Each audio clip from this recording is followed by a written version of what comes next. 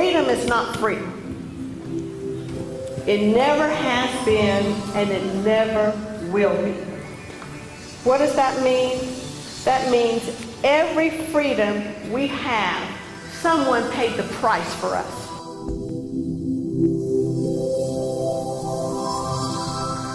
Medrano had a goal of 4,000 letters to soldiers for holiday season.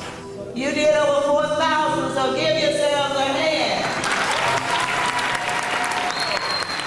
First time I was in a combat environment, um, Desert Shield, Desert Storm, we would have um, mail call.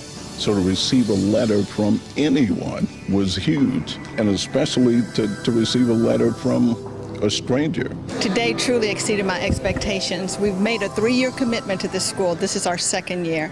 And to see those kids come in and that the bleachers were full and have to see those students sit on the floor because there was just no more seats, that's what it's all about. That's why we're here today. Giving back to the community is always good for our students to learn at a very young age. I feel so proud of myself right now. I think they're going to feel better with us supporting them. It means a lot because somebody from the classroom from Dallas, Texas is thinking about the truth out there. What better? What better reason to be out there in the first place if not for the people in the United States of America? Business is business and that's great, but people don't have a personal experience with anyone until they realize the community in which they're involved in. So the more that we're involved in the community, the more personality, the more personable we are as a company, not only to our business partners, but to the rest of the community and for that, the rest of the world. It just makes my heart smile to know that a company like this takes time out in the generosity and everything they do to give back to a school like this to help those in need.